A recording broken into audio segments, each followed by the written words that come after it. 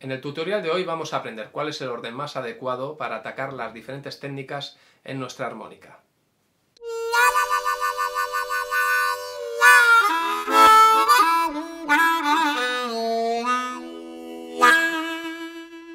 He decidido hacer este vídeo un poco pensando en toda la comunidad que hay de alumnos en YouTube que por falta de tiempo o falta de dinero pues no disponen de un profesor particular.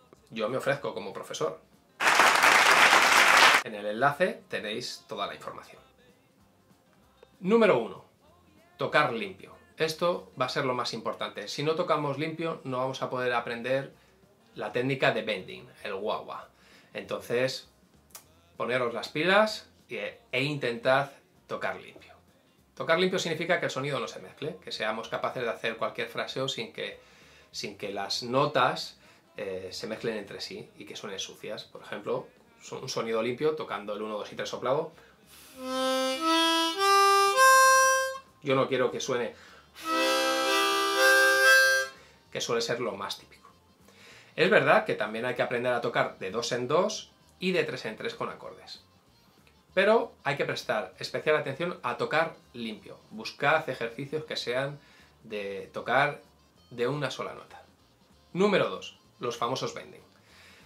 Vamos a empezar por los bending aspirados. O sea, cuando ya dominéis un poco el, tocar las notas limpias, pues empezamos a intentar hacer el bending. El bending son los famosos guaguas. Guau, guau, guau, guau. Bueno, hay diferentes tutoriales en los que podéis aprender esta técnica.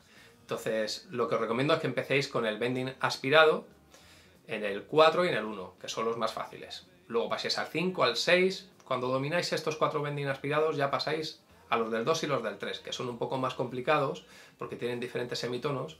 Pero bueno, con los bending del 1, 4, 5 y 6 hay un montón de solos que podéis disfrutar bastante. Por cierto, lo más recomendado para hacer eh, los bending aspirados es una armónica en Do. Es la más blanda a la hora de sacar esta técnica. 3. Bending soplado. El bending soplado lo más recomendado es hacerlo con armónicas más graves, ya que nos costará un poquito menos. Y una vez que dominamos el bending aspirado, el bending soplado está chupado. Entonces os recomiendo que lo intentéis con una armónica en sol o con una armónica en la son las más adecuadas para aprender esta técnica. Teniendo todos los bending, tanto aspirados como soplados, tenemos acceso a todas las notas de nuestra armónica. Tres octavas completas. Por cierto, no olvides suscribirte para que esta comunidad sea más grande. 4. Las octavas. En este caso tenemos que poner la boca en cuatro agujeros, la lengua a los dos de en medio para que son el primero y el cuarto, aunque hay en algún caso que son en cinco agujeros con la lengua a los tres de en medio, pero eh, los blueseros lo hacemos de cuatro en cuatro y con la lengua a los dos de en medio. 5. Ya podemos empezar a, practicar el tone blocking con la boca en tres agujeros y la lengua a los dos de la izquierda.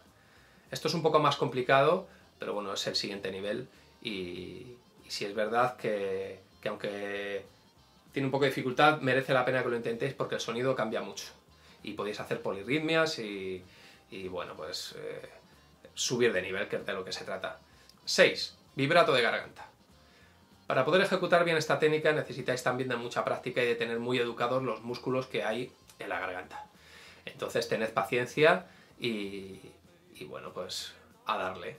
Dentro de estas seis propuestas que, que os he planteado, hay muchas otras complementarias, como son las manos, la armonía, bueno, en fin, el aprendizaje es muy largo. Pero bueno, creo que os puede servir de ayuda a la hora de que os pongáis a buscar en YouTube qué es lo más aconsejable para vosotros. Entonces creo que este orden es el adecuado, porque por ejemplo si empezáis con el bending soplado si no manejáis el aspirado, o si intentáis hacer el bending si todavía no tocáis limpio, estas cosas van a hacer que, tardéis más en avanzar.